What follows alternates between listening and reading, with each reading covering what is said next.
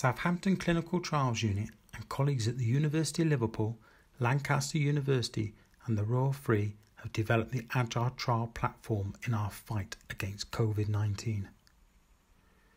Many of the existing COVID 19 trial platforms are investigating drugs already used in other diseases, and so there's a real need to investigate very early phase novel drugs, and this is the gap we are filling with Agile.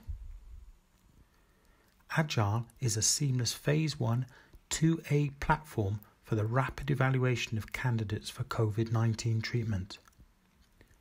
The aim of the Phase 1 is to identify a safe dose for each new treatment. The aim of the Phase 2A is to look at each new treatment against the current NHS standard of care to see if there is a signal of benefit. If yes, that novel drug could be considered for inclusion into one of the existing UK later phase trial platforms. The beauty of Agile as a trial platform is that we can add numerous new drugs within Agile over time, supplying a pipeline of new potential COVID 19 drugs. As some new treatments, only 20 to 40 patients may be needed to receive the new drug.